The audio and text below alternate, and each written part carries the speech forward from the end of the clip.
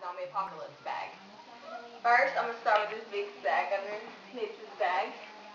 And of course, you have to bring your best friend. What's up, best friend? She's always going to have to be with me. In my bag, I also have this. First, you're always going to need someone to take care of you. Rather than your best friend, you're going to need a kitty cat. and another kitty cat. Her name is She's a have a guard dog to keep me safe. She's very mean. And next up, we have barbecue sauce. You never know when you're going to need the barbecue sauce.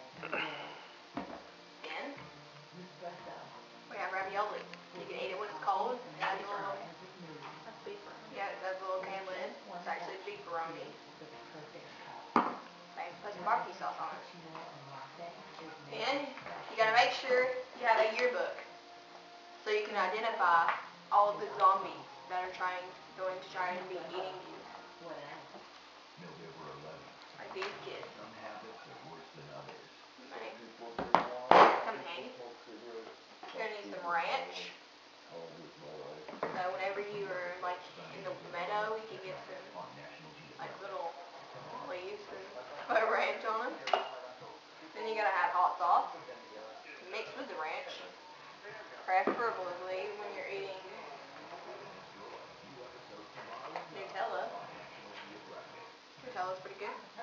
Then, gotta have some of these. And all you have to do is you just need to go to like a spring get some water. Doesn't even have to be hot, just put it in there.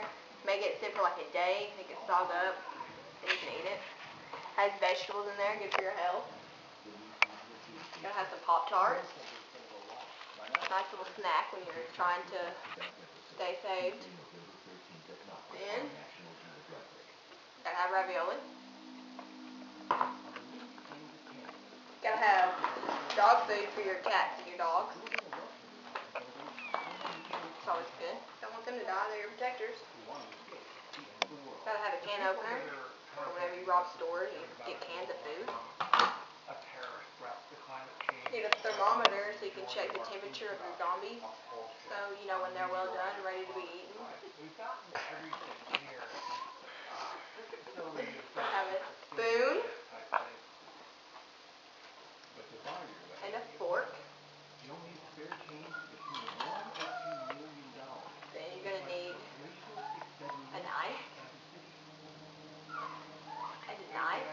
You cut all those suckers' heads off that are trying to kill you and your best friend. Sometimes your guard dogs and cats. You Gotta have a phone so you can call your mom. She knows what you're doing. Unless she's a zombie. Most importantly, you gotta have a gun. So you can kill all the mother truckers.